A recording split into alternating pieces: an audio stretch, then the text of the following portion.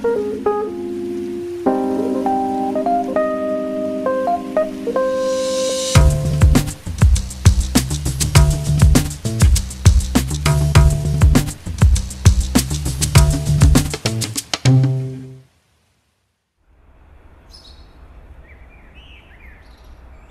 taches qui apparaissent sur les feuilles Il s'agit peut-être d'une maladie.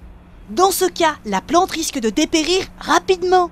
Dès l'apparition des symptômes, supprime les parties atteintes pour éviter la dispersion de la maladie. Dans certains cas, il est même conseillé de te débarrasser de la plante entière afin de ne pas contaminer les plantes à proximité. Ne mets pas les plantes malades au compost. Il est conseillé de les apporter aux déchets verts.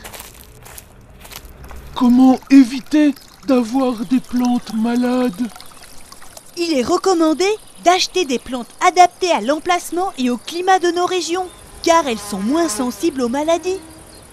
Préfère alors des plantes dites rustiques et idéalement indigènes. Au potager, fais des rotations de culture afin de ne pas retrouver les maladies année après année. Il faut éviter un excès d'engrais et d'eau, ce qui favorise l'apparition des maladies fongiques. J'ai entendu dire qu'on pulvérise de la bouillie bordelaise sur les tomates contre le mildiou et aussi sur les pommes contre la tavelure. Ce n'est pas dangereux comme produit. La bouillie bordelaise est un fongicide à base de sulfate de cuivre, souvent toléré en jardinage bio.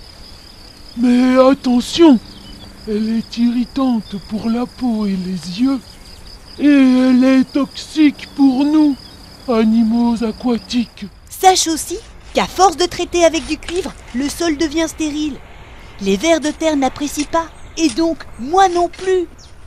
Pense donc à avoir la main légère et ne pulvérise que lorsque c'est strictement nécessaire. Y a-t-il un traitement contre l'oïdium ou, ou les taches noires sur les rosiers? Ces champignons peuvent être traités avec du soufre. On le trouve sous forme d'une poudre minérale sans danger pour l'homme et l'environnement. Vous l'aurez compris, contre les maladies, il vaut mieux prévenir que guérir. Certaines préparations à base de plantes sont efficaces en traitement préventif contre les maladies fongiques. La prêle, l'ortie, l'ail permettent de renforcer les défenses de la plante. Retrouve les recettes sur www.adalia.be